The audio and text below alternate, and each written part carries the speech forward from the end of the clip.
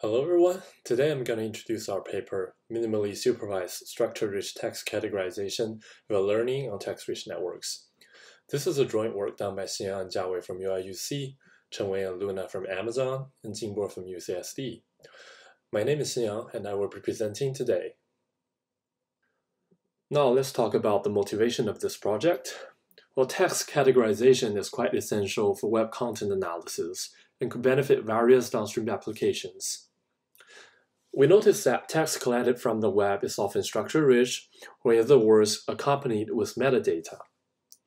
Meanwhile, we found that most existing approach relies on a large amount of training data. This is very costly, especially when the number of category is large or when handling evolving categories. Well, in this work, different from most supervised approach, our goal is to categorize structure-rich text documents given only a handful of seed examples per categories, and in our experiments, no more than three hand-labeled documents per category. Formally, our problem can be defined as follows. Given a set of documents, their accompanied metadata, a set of labels, and a few labeled documents per category, we aim to learn a classifier which can assign correct labels to incoming documents. The first step in our framework is to organize the structure-rich text corpus into a text-rich network. As you can see in the figure here, a text-rich network is a heterogeneous network with various node types and accompanied by abundant raw text information.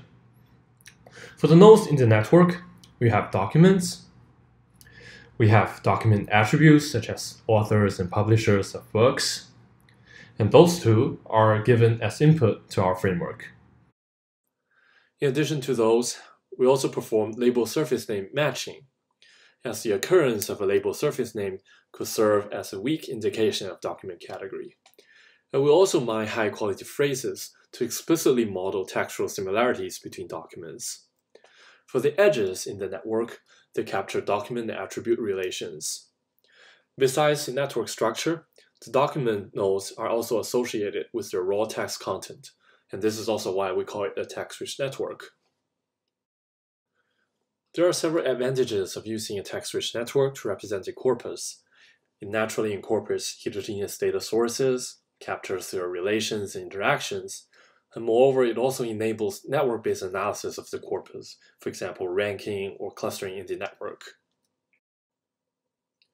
There are two major challenges in modeling text-rich networks. The first one is how do we combine text and network together? So if you just put a deep text model and a deep network model together, it may be overly complicated and not suitable for our minimal supervision setting.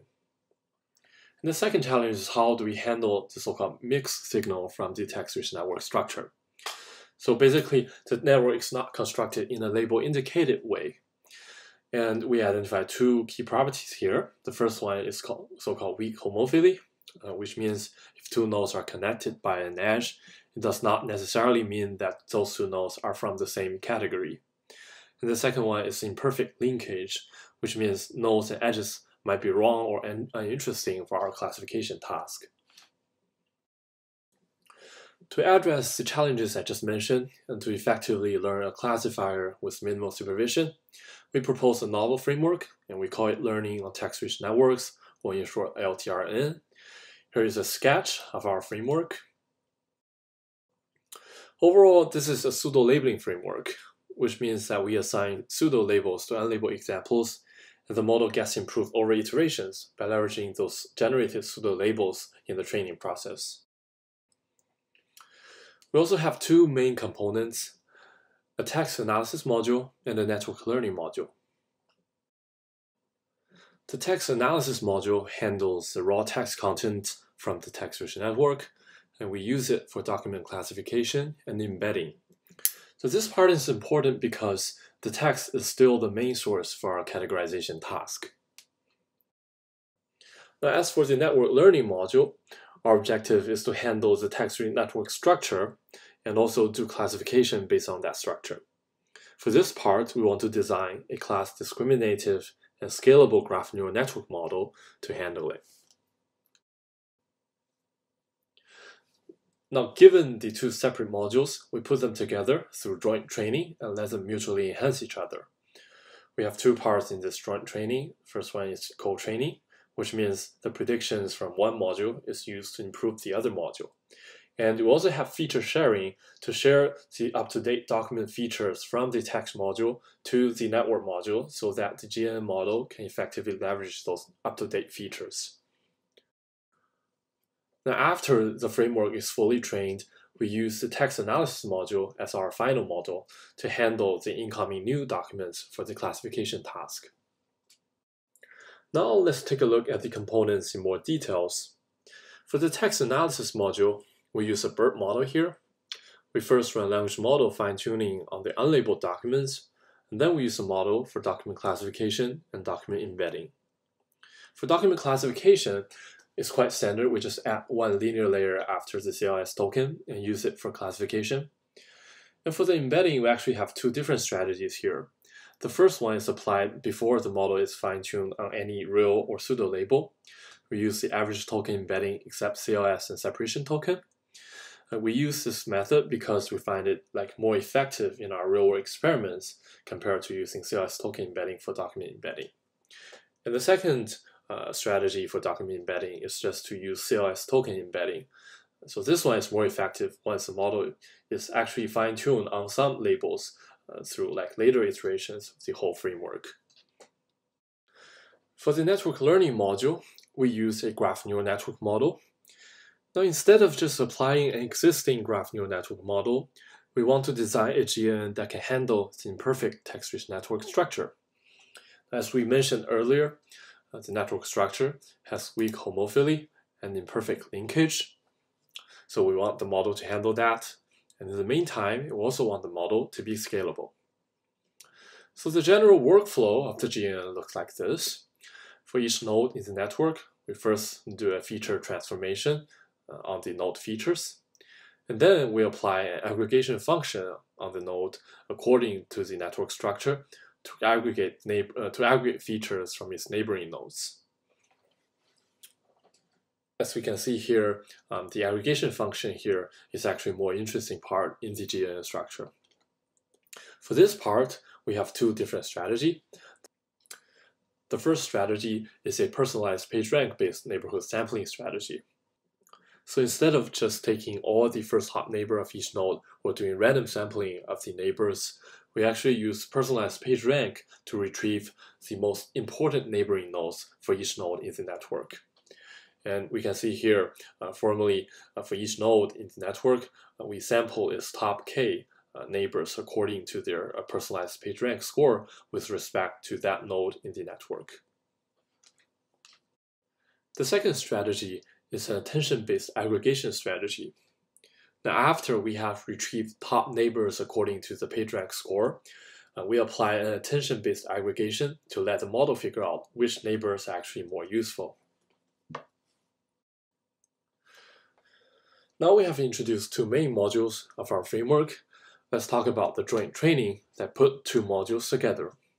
For this part, we also have two different strategies. The first one is co-training, uh, which pulls the pseudo labels generated from each module together. As you can see here, um, in each iteration of the algorithm, uh, we take the confident predictions from both modules and put them together uh, and use them as the pseudo label set as the input to the next iteration of the model. The second strategy is feature sharing. Because the GNN model requires node feature as input, now instead of just using fixed document feature for the GNN, at the end of each algorithm iteration, we actually redo the document embedding uh, with the BERT module and use them as a new input to the GNN, so that the GNN model will al always get the most up-to-date document features. Now let's take a look at the experiments. For the experiments, we have two datasets. The first dataset is an Amazon product categorization dataset. It is collected by us. It has 683 categories. The number of categories is much larger than most datasets used in related works. It is a very challenging dataset to benchmark the minimally supervised setting. For this dataset, the text part include product title, bullet point, and description, And for the attributes, we have brand and manufacturer of the products. The second dataset is a book dataset. It has eight categories of different book genres. For the text part, we have book title and description, and for the attribute part, we have author and publisher of the books. For all the datasets, we use three seed examples per category as labeled examples, and meanwhile, our experiment setting is inductive, which means that the test documents are not observed during training. Here's the result from our main experiments. We compare our model to various baseline methods. The baseline methods can largely be grouped into text-based methods and network-based methods. As you can see in the table here, our model consistently outperformed all the baseline methods on both datasets. And also note that on the challenging Amazon product categorization dataset with hundreds of categories, our model achieved less than 2% F1 score difference compared to the supervised BERT model with 20 times more training data. We also show multiple case studies and ablation studies. In the case study here, we try to see how the network and text modules of our framework mutually enhance each other through the joint training process. In the figure here, the x-axis represents different categories on two datasets, and the bars in the figures show the performance of the GNN model from the network module and the BERT model from the text module. As you can see, at the first iteration, the two models have substantial performance difference across different categories. And if you look at the last iteration on both datasets, both modules have improved their performance, and their performance difference has been much smaller than the, compared to the first iteration. In the ablation study here, we show two model variants. In the first model variant, we remove the feature sharing mechanism from our model to see if that mechanism actually helped the joint training process. In the second model ablation, we replaced the proposed GN architecture with a GraphSAGE model so that we can compare our proposed personalized PageRank-based neighborhood sampling and an attention-based aggregation to a random neighborhood sampling and aggregation scheme. As you can see in the table down here, both model variants have inferior performance compared to our joint model, which kind of verifies the effectiveness of our proposed model. In the final experiment here, we change the number of labeled documents and see how that impacts the model performance. As you can see in the figure down here, generally when the number of seed documents increase, the model performance increase. And you can also see the model variation through the error bars in the figures. You can see that although model does have some variation, it does not matter much. Now, wrapping things up, in this project, we provided a text-rich network perspective to combine text and metadata for minimally supervised text categorization we proposed a joint learning framework with a text analysis module and the network learning module, and both modules are data-driven. We did experiments on two datasets, including one Amazon product categorization dataset collected by us with around 700 categories, which is quite challenging. We achieved significant performance gain compared to all the baseline methods, and on that Amazon product categorization dataset, we are nearing the performance of a supervised BERT model. For more details of the project, please take a look at our paper. Thank you for listening.